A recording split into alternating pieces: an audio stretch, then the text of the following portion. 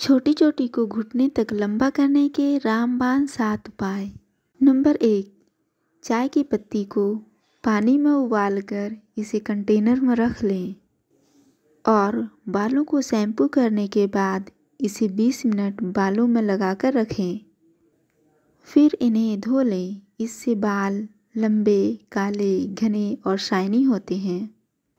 Number दो, vitamin E capsule में एक चम्मच नारियल तेल मिक्स कर बालों में लगाने से बाल लंबे, सिल्की और चमकदार होते हैं। नंबर तीन, बालों को कलर और ब्लीच करने से बचें।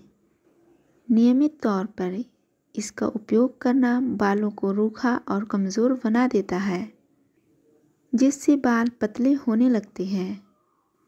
बालों को कलर करने के लिए प्राकृतिक मेहंदी का इस्तेमाल करना चाहिए। नंबर चार, आप सप्ताह में एक से दो बार मेहंदी में एक अंडा मिलाकर बालों में अप्लाई कर सकते हैं। अंडे में प्रोटीन होता है, जो बालों के विकास के लिए बहुत ज़रूरी है। वही मेहंदी बालों को प्राकृतिक रंग प्रदान करने और हेयर ग्रोथ बढ़ाने में बहुत लाभकारी है।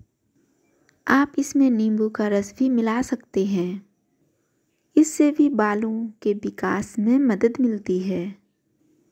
नंबर पाँच, एक कप दही में दो चम्मच नारियल तेल और दो चम्मच एलोवेरा जेल मिलाकर एक घंटे के लिए बालों में लगा लें।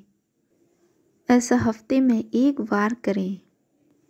ऐसा करने से बाल सिल्की और मज़बूत होते हैं। और दो गुना ज़्यादा तेज़ी से बढ़ते हैं। नंबर छः, बालों को चमकाने के लिए कंडीशनर ख़त्म हो गया हो तो।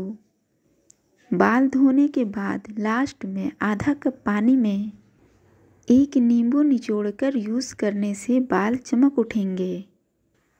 नंबर सात, तेज़ी से बाल बढ़ाने के लिए सबसे असरदार उपाय। चार बड़े चम्मच गर्म नारियल तेल में, दो बड़े चम्मच एलोवेरा जेल और एक बड़ा चम्मच अरंडी का तेल मिलाएँ। अब इस मास्क को अपने बालों पर लगाएँ। इसे एक घंटे तक लगा रहने दें, फिर धो लें वीडियो अच्छी लगी हो तो लाइक करें शेयर करें और डेली इस तरह की वीडियो देखने के लिए चैनल को ज़रूर से सब्सक्राइब कर लें